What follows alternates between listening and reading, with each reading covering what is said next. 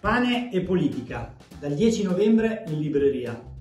Un libro con la prefazione di Walter Veltroni sulle ragioni della sconfitta e sulla voglia di creare una nuova partecipazione. È un viaggio nella provincia italiana, a casa delle famiglie italiane, che spesso e volentieri non abbiamo ascoltato, gli abbiamo chiesto solo il voto. Invece in questo caso mi hanno ospitato a casa, a cena e discutendo con loro abbiamo discusso in diretta social con centinaia, migliaia di famiglie italiane. È diventato un reality della buona politica. E lì abbiamo capito le ragioni della sconfitta della sinistra delle ultime elezioni politiche. E da questo viaggio che inizia da Matera e finisce a Faenza ci sono anche tanti idee, tanti spunti per far tornare a vincere il centro-sinistra.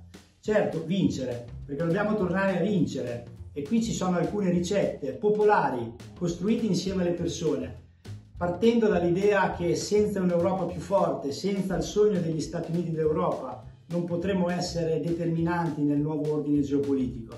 Siamo circondati dalla guerra e l'Europa non tocca palla, non è in grado di incidere nel nuovo ordine mondiale. E al tempo stesso il cambiamento climatico, la transizione demografica, i flussi migratori ci impongono di pensare e misurare un nuovo modello di sviluppo. E quindi lanciamo l'idea di misurare lo sviluppo finalmente con indicatori diversi, con il benessere ecosostenibile, perché altrimenti non misureremo la qualità della crescita, non misureremo la qualità della vita e non si ridurranno le disuguaglianze.